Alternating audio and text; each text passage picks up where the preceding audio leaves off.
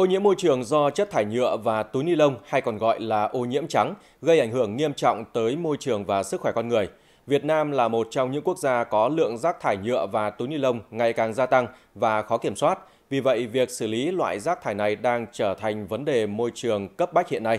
Trong chuyên mục Phát triển bền vững kỳ này, chúng tôi sẽ đề cập đến những nỗ lực của các cấp, các ngành và các đơn vị kinh doanh trong việc chung tay giảm thiểu ô nhiễm rác thải nhựa. Trước hết là những thông tin đáng chú ý mời quý vị và các bạn cùng quan tâm theo dõi.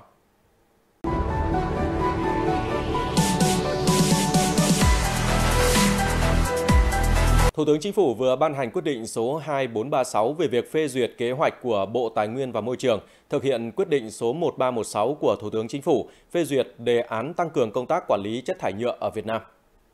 Theo đó, nội dung thực hiện gồm giả soát sửa đổi bổ sung các văn bản quy phạm pháp luật theo thẩm quyền hoặc đề xuất ban hành các văn bản có nội dung liên quan đến quản lý chất thải nhựa, triển khai các hoạt động đào tạo, truyền thông và hợp tác quốc tế về quản lý chất thải nhựa, nghiên cứu ứng dụng công nghệ, triển khai mô hình, hoạt động quản lý chất thải nhựa và sản xuất các sản phẩm thân thiện với môi trường.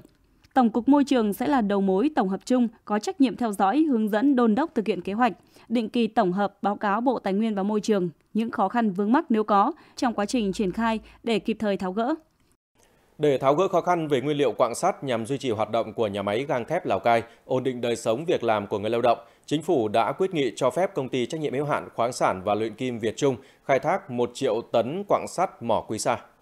Từ đầu tháng 9 năm 2021 đến nay, nhà máy gang thép Lào Cai đã tạm dừng hoạt động do không có quặng sắt để sản xuất.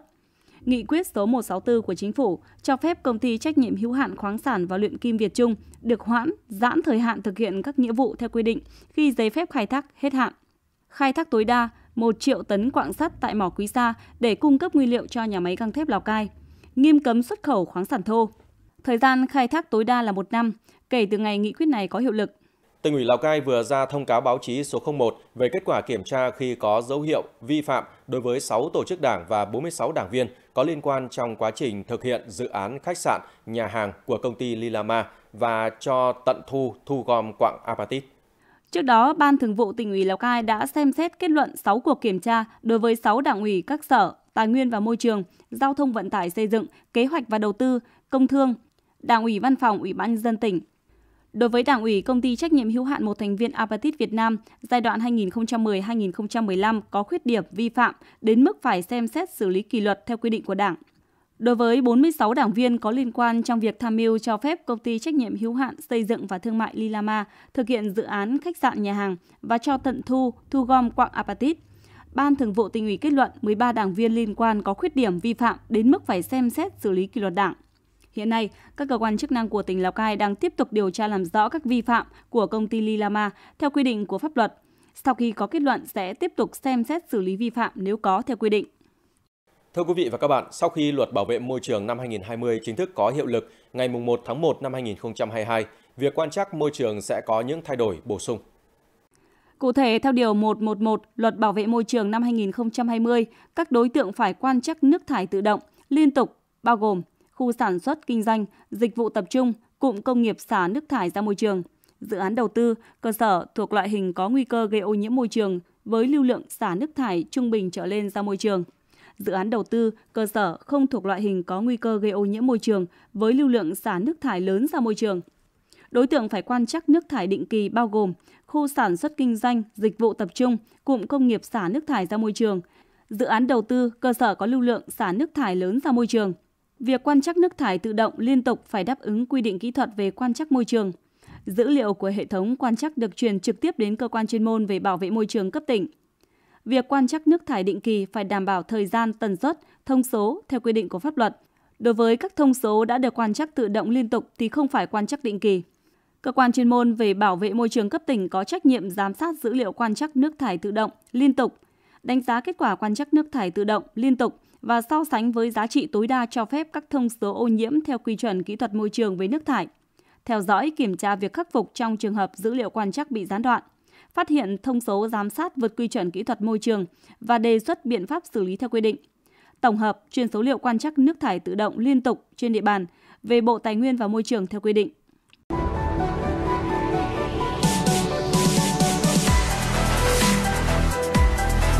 Hiện nay, tình trạng ô nhiễm môi trường do chất thải nhựa và túi ni lông đang rất nghiêm trọng và đáng lo ngại. Theo báo cáo của Liên Hợp Quốc cho thấy, mỗi năm trên toàn thế giới sử dụng khoảng 500 tỷ chai nhựa, hơn 500 tỷ túi ni lông. Lượng rác thải nhựa đủ để trải quanh trái đất gấp 4 lần. Trong đó, 13 triệu tấn rác nhựa trôi nổi đổ ra đại dương. Mỗi phút có 1 triệu túi nhựa được tiêu thụ, nhưng chỉ có 27% trong số đó được xử lý và tái chế. Việc lạm dụng sử dụng túi ni lông khó phân hủy, sản phẩm nhựa, nhất là đồ nhựa dùng một lần đã và đang để lại những hậu quả khôn lường với môi trường. Theo thống kê của Bộ Tài nguyên và Môi trường, lượng chất thải nhựa và túi ni lông phát sinh chiếm khoảng 8 đến 12% lượng chất thải rắn sinh hoạt. Tại tỉnh Lào Cai, khối lượng chất thải nhựa phát sinh trên địa bàn khoảng từ 37 đến 55 tấn một ngày. Như vậy, nếu tính trung bình, 10% lượng chất thải nhựa và túi ni lông phát sinh không được tái sử dụng mà thải bỏ hoàn toàn, thì lượng chất thải nhựa thải bỏ ở Việt Nam sắp xỉ khoảng 2,5 triệu tấn một năm. Thói quen sử dụng túi ni lông nhựa dùng một lần có thể đem lại sự tiện lợi cho con người trong một khoảng thời gian ngắn, nhưng ít ai ngờ nó lại là tác nhân đẩy môi trường đứng trước thảm họa ô nhiễm. Những ống hút cốc nhựa dùng một lần, hộp xốp và đặc biệt là túi ni lông với ưu điểm bền, chắc, tiện dụng, giá thành thấp đã và đang được sử dụng hầu như ở mọi lúc mọi nơi. Ai cũng thấy sự tiện lợi trước mắt đó mà không biết rằng khi thực phẩm được đựng trong các túi ni lông các hộp nhựa tái chế thì các hóa chất từ các túi hộp đó sẽ nhiễm vào thức ăn sau đó được hấp thụ vào cơ thể con người. Theo thời gian, các hóa chất này có thể gây ung thư, thay đổi nội tiết tố và nhiều hệ lụy khác cho sức khỏe con người. Bên cạnh đó, rác thải nhựa, ni lông được đốt ở ngoài môi trường sẽ tạo ra nhiều loại khí độc hại, trong đó có dioxin và furan, là những chất cực độc có khả năng gây khó thở, ảnh hưởng tới tuyến nội tiết, giảm khả năng miễn dịch, rối loạn chức năng tiêu hóa và các dị tật bẩm sinh ở trẻ nhỏ. Đặc biệt là gây ung thư khi phơi nhiễm thường xuyên. Với đặc tính khó phân hủy, khó xử lý, rác thải nhựa và ni lông được thải mỗi ngày ra môi trường với số lượng lớn, khiến tình trạng ô nhiễm môi trường ngày càng nghiêm trọng. Trước thách thức về tình trạng rác thải nhựa và túi ni lông sử dụng một lần, hưởng ứng lời kêu gọi của chính phủ và Bộ Tài nguyên và Môi trường, tại tỉnh Lào Cai, việc cam kết hạn chế sử dụng các sản phẩm nhựa dùng một lần đã và đang tạo sức lan tỏa ở nhiều địa phương và cơ quan, đơn vị bằng những cách làm thiết thực. Tại siêu thị này, việc sử dụng các loại túi thân thiện với môi trường thay thế túi ni lông khó phân hủy trước đây đã trở nên quen thuộc. Siêu thị còn đẩy mạnh công tác tuyên truyền, giới thiệu tới khách hàng các sản phẩm thân thiện với môi trường trong đóng gói hàng hóa và bảo quản thực phẩm. Từ những năm trước là công ty đã áp dụng ờ, sử dụng túi ni lông ờ, sinh học tự phân hủy ờ, và nó sẽ có thời gian phân hủy ngắn. Vì vậy là đối với hàng hóa tại siêu thị thì đa phần khách hàng là người ta sẽ sử dụng túi ni lông tại siêu thị.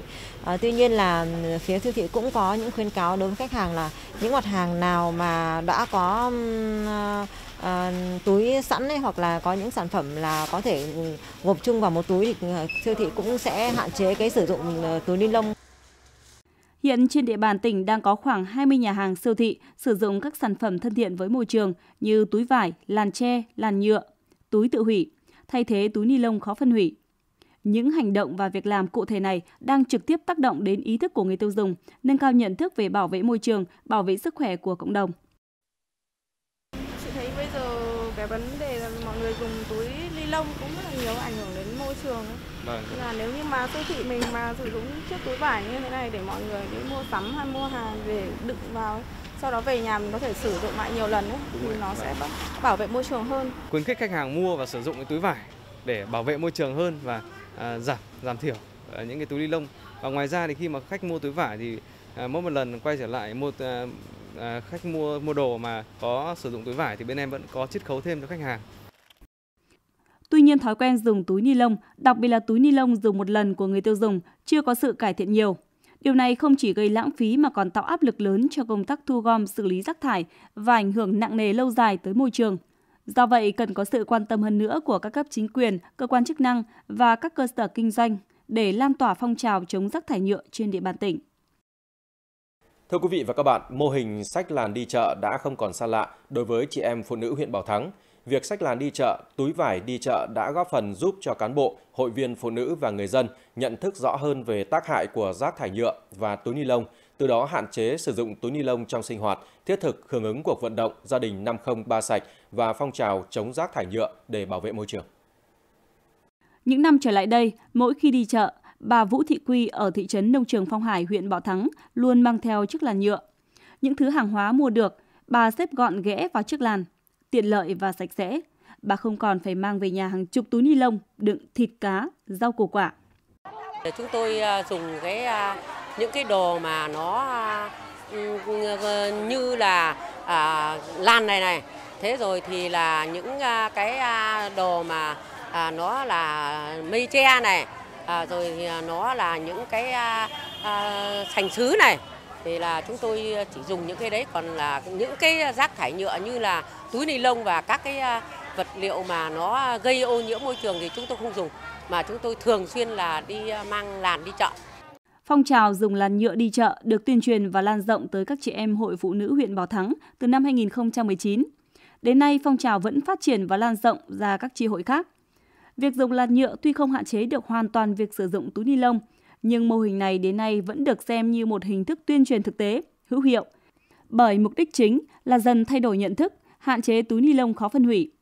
Ngoài sự nỗ lực của các cấp hội, phong trào còn nhận được sự quan tâm tích cực của Đảng ủy, chính quyền các cấp trong việc làm thay đổi nhận thức người dân về tác hại của rác thải nhựa và trách nhiệm của mỗi công dân đối với môi trường. Chúng tôi à, sẽ tổ chức à, huy động theo à, các điểm và ngoài à, việc ờ, tuyên truyền ở các điểm chợ thì à, sẽ tổ chức tuyên tuyên truyền ở các điểm đông dân cư, các cơ quan, đơn vị à, trường học trên địa bàn và đặc biệt đó là triển khai cho các cơ quan phát động tới toàn thể cán bộ công nhân viên chức của mình. Với cái việc phòng chống rác thải nhựa thì cũng hạn chế rất là nhiều về cái rác thải nhựa ờ, vứt ra ờ, đường làng ngõ xóm. Trong thời gian tới thì Hội Liên hiệp Phụ nữ huyện thì tiếp tục tuyên truyền cho các cấp hội tiếp tục thực hiện và duy trì và nhân rộng thêm cái mô hình này ra nhiều các chi hội ở cơ sở. Hiện phong trào đi chợ bằng làn nhựa đã có ở 14 xã thị trấn của huyện Bảo Thắng với trên 10.000 chiếc làn nhựa được phát tới tay chị em hội viên. Hành động tưởng chừng rất nhỏ này nhưng đã góp phần tích cực trong việc thay đổi thói quen hàng ngày, xây dựng và hình thành ý thức hạn chế túi ni lông, đầu nhựa dùng một lần của chị em phụ nữ. Với hành động nhỏ nhưng mang ý nghĩa lớn đã mang lại thay đổi trong ý thức và thói quen của mỗi người, đồng thời cũng lan tỏa hành động đẹp và thể hiện vai trò của hội phụ nữ đối với công tác giữ gìn bảo vệ môi trường xanh sạch đẹp. Thưa quý vị và các bạn, một trong các mục tiêu đề án giảm thiểu ô nhiễm môi trường do chất thải nhựa giai đoạn 2020-2025 là đến hết năm 2021, 100% cơ quan, đơn vị địa phương có những hành động cụ thể hạn chế sử dụng các sản phẩm từ nhựa dùng một lần và túi ni lông khó phân hủy. Những sản phẩm liên quan đến nhựa trước đây thường được sử dụng tại các cơ quan đơn vị thì nay đã được thay bằng ly, cốc, bình thủy tinh, inox, bình nước sử dụng nhiều lần. Các tổ chức chính trị xã hội đã triển khai xây dựng nhiều mô hình điểm giảm thiểu ô nhiễm rác thải nhựa như tỉnh đoàn với mô hình chợ dân sinh giảm rác thải nhựa, Hội Liên hiệp Phụ nữ với mô hình Phụ nữ đi chợ bằng làn. Mặt trận Tổ quốc Việt Nam tỉnh triển khai mô hình khu dân cư tự quản bảo vệ môi trường. Tại thì chúng tôi đã triển khai tại à, à, huyện Bát Sát, huyện à, Bảo Thắng, thành phố Lào Cai và Bắc Hà, Sapa. Chúng tôi đang tiến hành khảo sát và xây dựng mô hình điểm về phân loại hướng dẫn người dân phân loại rác thải tại nguồn tại xã Nghĩa Đô, huyện Bảo Yên và xã Sơn Hà của huyện Bảo Thắng. Hiệu quả đến giờ đến thời điểm này thì cũng đã phối hợp với chính quyền, đặc biệt là cấp xã thì khi mà các tổ chức các hội nghị thì hạn chế sử dụng những cái uh, chai lọ nhựa dùng một lần. Và chủ yếu là sử dụng ờ, nước uống bằng cốc bằng nước đun trực tiếp. Ở các cái thôn tổ dân phố thì cũng uh, vận động các hộ gia đình uh, có cái không gian vườn nhà rộng rãi thì cái phân loại cái rác thải uh, vô cơ và cả rác thải hữu cơ để trở thành một phong trào trào sâu rộng thì rất cần sự quan tâm vào cuộc tuyên truyền vận động của cả cái hệ thống chính trị đặc biệt là phát huy vai trò mặt trận tổ quốc và các tổ chức chính trị và xã hội đến ờ, từng người dân, đến từng hộ gia đình nâng cao cái nhận thức về phòng chống rác thải nhựa. Tuy nhiên, việc thay đổi hành vi thói quen sử dụng sản phẩm nhựa khó phân hủy và túi ni lông gặp nhiều khó khăn. Bên cạnh đó, hệ thống văn bản pháp luật vẫn còn chưa đồng bộ, gây khó khăn cho cơ quan quản lý nhà nước. Cái hệ thống văn bản quy phạm pháp luật về uh, việc giảm thiểu sử dụng các sản phẩm nhựa và sử dụng các cái túi ni lông khó phân hủy là hiện nay là nó chưa rõ ràng và cũng chưa được đồng bộ từ trung ương đến địa phương. À, đến nay thì cũng chưa có một cái lộ trình để giảm thiểu đến tới chấm dứt các cái sản phẩm uh, túi ni lông khó phân hủy. À, một cái khó khăn hơn nữa đó là các cái việc giảm thiểu túi ni lông hiện nay ở các cái khu vực chợ, uh, khu vực nông thôn là ừ, rất là khó thực hiện. Chất thải nhựa gây ra nhiều tác hại đối với môi trường và sức khỏe con người. Vì vậy, cùng với hoàn thiện chính sách pháp luật, mỗi cơ quan đơn vị, mỗi người dân cần tiếp tục nâng cao nhận thức, có những hành động thiết thực, bắt đầu từ việc giảm tiêu thụ sản phẩm nhựa hàng ngày. Chuyên mục phát triển bền vững của Đài Phát thanh Truyền hình Lào Cai xin được tạm dừng tại đây. Cảm ơn quý vị và các bạn đã quan tâm theo dõi. Xin kính chào tạm biệt.